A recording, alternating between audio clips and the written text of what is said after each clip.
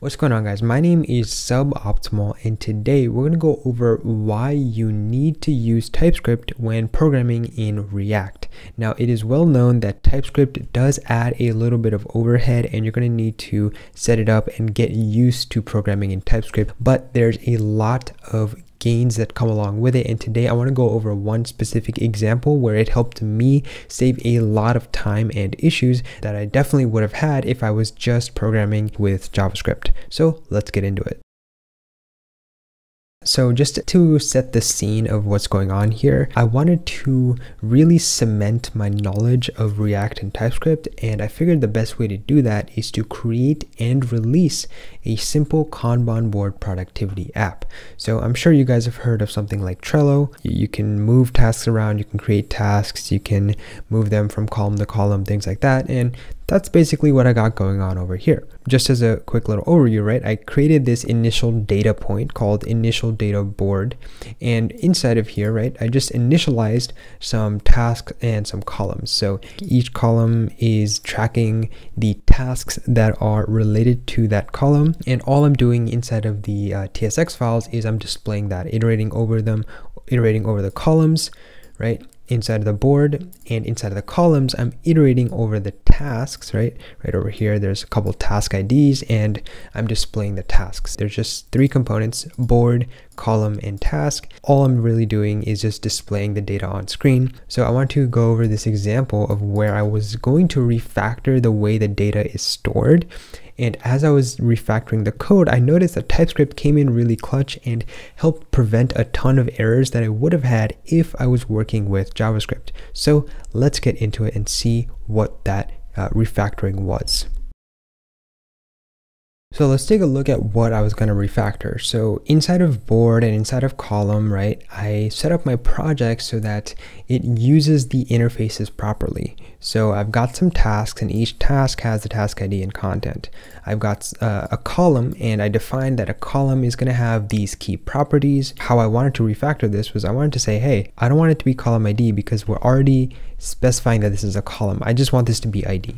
So as soon as I sort of uh, remove this and change it to ID, you're going to notice that the app is already detecting a ton of errors inside of my code. It detected two errors inside of this file, two errors inside of board.tsx, and one error inside of column.tsx. So I can immediately know that I basically need to change this code five separate times. If I scroll down, right, like looking here, I see the red mark, so I scroll down, there we go.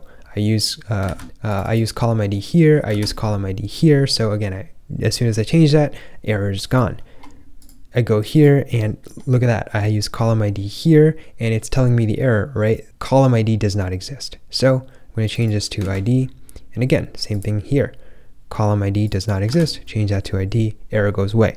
And I come over here, change this to column to uh, change this to ID, error goes away. So that's sort of the power of TypeScript, right? Like Notice how it's immediately detecting inside of the entire app any issues that I may have by changing, just changing this interface, right? I set up my app, obviously. It did take a little bit of time because I had to go through and I had to specify uh, certain features of each thing, right? Like I'm saying, hey, this column is going to be of uh, the column interface. This again is going to have the props of column interface. So there is a little bit of an initial upfront cost where you're sort of specify these things, but this is going to save you a huge amount of time down the road. So at the end of the day, it just comes down to how, you know, how willing you are to adopt TypeScript into your app, right? Now, obviously, um, there are things that can uh, be annoying at times, right? There's an easy way to just fix TypeScript errors, and that's just pass in any to every single thing that you know might throw an error. Notice here that I'm displaying the task, right?